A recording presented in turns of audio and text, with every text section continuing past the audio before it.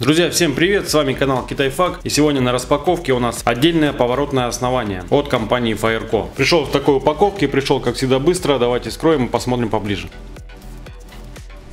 Здесь я заказывал еще красные очки, приходят вот в таком интересном кейсе. Ссылку на них и на поворотное основание оставлю под видео и сама поворотная база. Да, поворотное основание на сегодня стоит 1350 рублей, а лазерные очки 430 рублей. Но они идут в чехле и сами очки намного лучше. Они сделаны из не царапающегося пластика. То есть если посмотрите, то на дешевых очках стекла обычно все исцарапанные и такие мутноватые. У этих очков Fireco прозрачный пластик и он не царапается. То есть в них отлично все видно и намного комфортнее работать.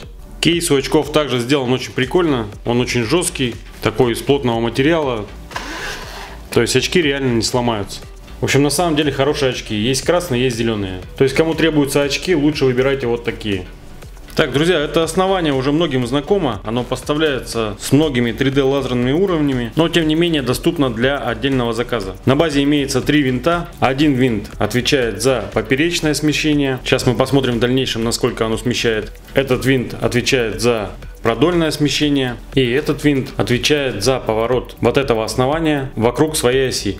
Также на корпусе имеется пузырьковый уровень, что добавляет удобства при использовании, чтобы наглядно видеть, как стоит крепление в пространстве. Само основание все сделано из металла, крутящаяся верхняя плашка сделана из пластика. Резьба сверху 1 четвертая дюйма и резьба снизу 5 восьмых дюйма для крепления на штатив либо штангу. Для установки уровня можно использовать ножки, они также крутятся, то есть можно подкручивать и устанавливать. Ножки выкручиваются полностью, это иногда нужно для установки на тот же штатив, если допустим многие мешают встать и прикрутиться.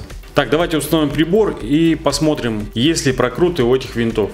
Так, друзья, вот я установил прибор, это Fireco 3D Green. Обзор его можете посмотреть, перейдя по ссылке в верхнем углу. Очень классный прибор. И давайте посмотрим, насколько происходит поперечное и продольное смещение от этих двух винтов. Давайте включим прибор, выберем вертикаль.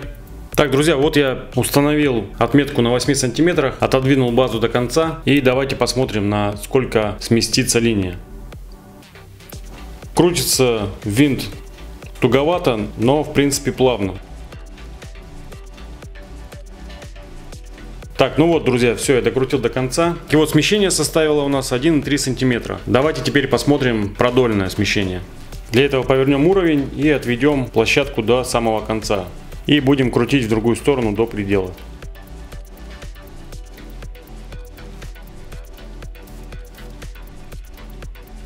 Так вот, друзья, докрутил до предела и смещение составляет те же 1,3 сантиметра. Хочу отметить, что крутилки при реверсе имеют прокруты, то есть отклик не моментальный, некоторое число поворотов проходит впустую и только потом начинается движение. Это, конечно, не очень приятно.